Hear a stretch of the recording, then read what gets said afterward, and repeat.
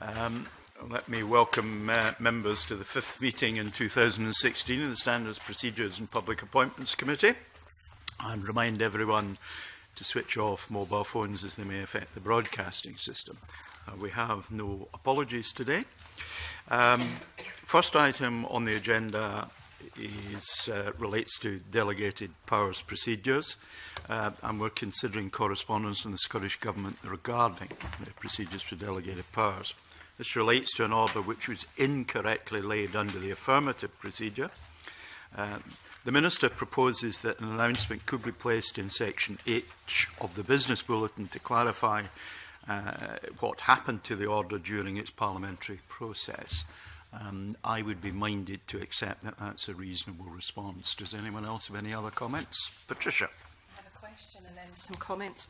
The letter from the Minister, um, the second paragraph, can I just check that it's absolutely correct because my understanding was that the problem arose because an instrument was laid under the negative procedure when it should have been the affirmative procedure. But the, le the letter from the Minister says the legal situation was resolved and the desired policy outcome delivered by immediately laying a laid-only commencement order and a negative pr procedure instrument. does he mean negative or is it just a technicality that I don't understand? Mm. Yeah. That's It, it, it's certainly correct. As a member of the DPLR, I've been on the yeah. other side of this, obviously, sure. so I, I speak partly informed that. It was certainly a procedure that should have been laid under affirmative, was laid under negative. Um, Uh, just, just, I'm, I'm just going to read it because I think we ought to be able to close this off.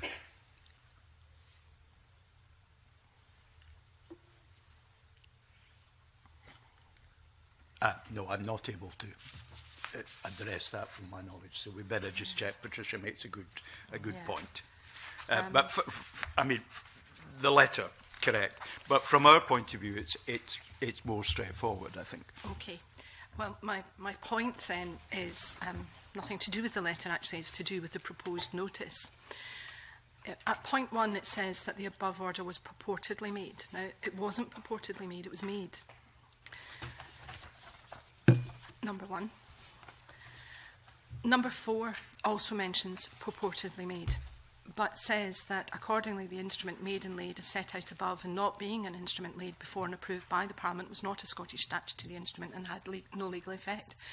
Well, that to me is um, not as clear as I think it needs to be, to be honest, if we're to effect what we said we wanted to effect, which, which was to make sure that on the parliamentary record it was clearly understood what had happened. And I, I really don't want to split hairs or dance on the head of a pin over this. But I've drafted an alternative form of words, which I think maybe works a little bit better without trying to take away the meaning of it. I've just said, accordingly, the instrument made and laid as set out above was not a properly approved instrument and therefore had no legal effect and is not, in effect, a Scottish statutory instrument. And then five, ministers have achieved the desired policy outcome by laying a laid-only commencement order and uh, whatever kind of procedure instrument it actually is, negative or, or, or affirmative. I just think it, I don't understand why we just can't be very clear about this because that, that's the purpose of trying to get some words on the record. Just, just before I come to Mike Russell, let me just take some advice uh, because I think the word made is when it relates to when the instrument has legal effect. Is that correct? I have no problem with that word. No, no, but I just want to be clear about the use of the word purported. Just a factual piece of advice if, you, if it can be given? I, I don't have any knowledge of the background to this particular one, but it, it, it may be that purported has been used because um, something having been done under the wrong power or the wrong procedure means that um, the sort of the making of it was was null and void. It was not there for me. Yes, it, it, it, it which is why the, I'm just trying to pin down yeah, from our means. advisors where the word purported comes from. and not take a position on anything else whatsoever at this stage.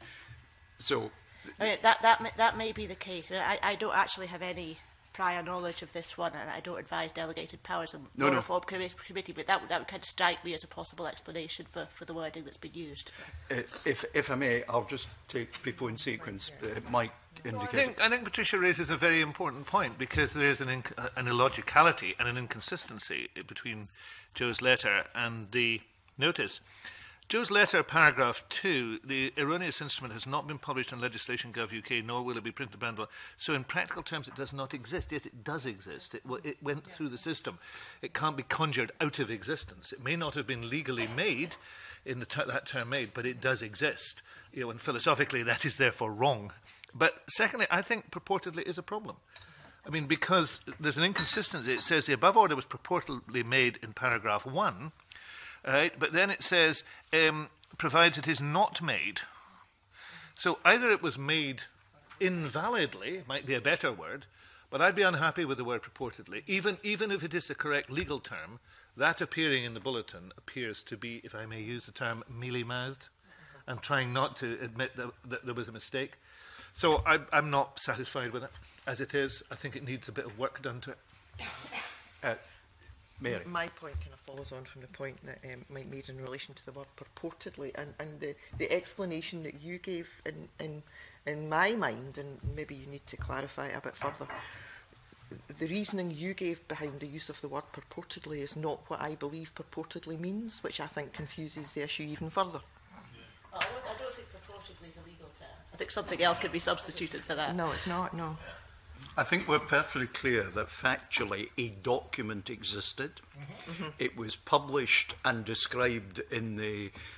uh, business bulletin as being a negative instrument mm -hmm. to mm-hmm. give effect to, etc. So I think I think that's beyond debate. Um, uh, and, and it would probably be helpful if it was described in terms mm. as straightforward as yeah. I've just used, uh, as to where it came from. Now, the government asserts, and, I, and the DPLR have accepted, uh, um, that because it had no legal effect, the legal issues around the document are resolved. But we, our issue is whether the parliamentary mm. process is resolved. And I think we're, we're all quite clear that uh, without something in the business mm -hmm. bulletin, um, the parliamentary process is incomplete and, mm-hmm. and, and could not be understood by external people. David. Th thanks, Convener. I, I would agree with what you're saying there. And would a simple way to deal with it be to just delete purportedly made and and just put in the instrument improperly laid? Because is that not what the essence of the problem is? Let me go back to Patricia, who, who raised the subject. I, I think it's a, it's a wee bit more than that, Dave. Um, I, th I think you're right, um, but our objection originally to there being nothing on the record was that that then meant we were in limbo and there was no clear explanation to Parliament or to any onlooker as to what we were actually talking about.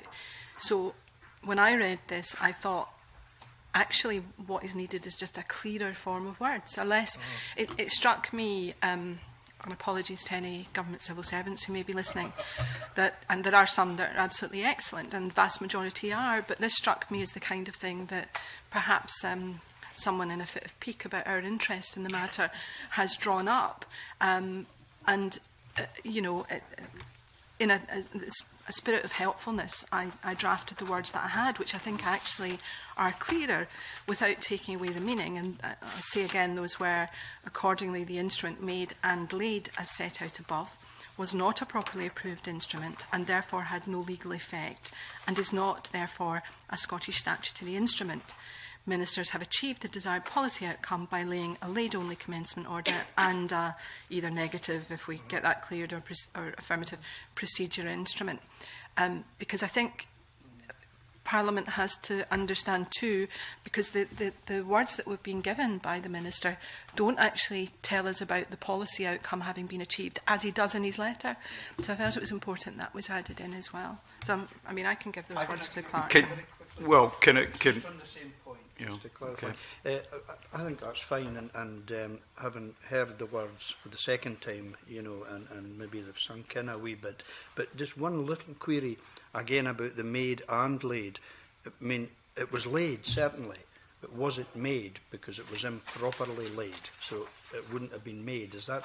I mean, could we just delete made and? I don't can, I, can I can I can I just from from the chair just make a point about our process uh, we, we are not masters of what ultimately gets published.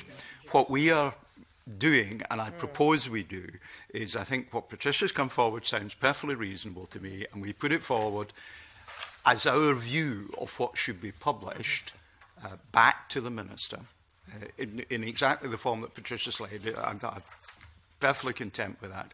Ultimately, it is for the government to take the decision as to what is published, but the Parliament does control the business bulletin. So we are not, we, we, we, our, our comments back to the government should be taken very seriously because it is the Parliament's bulletin that we're talking about the contents of, but the government has to provide the contents and we are suggesting what they say. And I think on that basis, let's send it back to the government, indeed reflecting the uncertainties that David has identified for them to deal with, and we'll take our position thereafter if we feel the need to do so. Is everybody content we take that approach then? Mm -hmm. Patricia? I just say for Dave's benefit, I mean, I, I was trying to change as little as possible yeah. as I could of the government's version. So I just took made and laid from their words because that's what they've said. Um, if it's wrong, obviously it should be changed. Mm -hmm.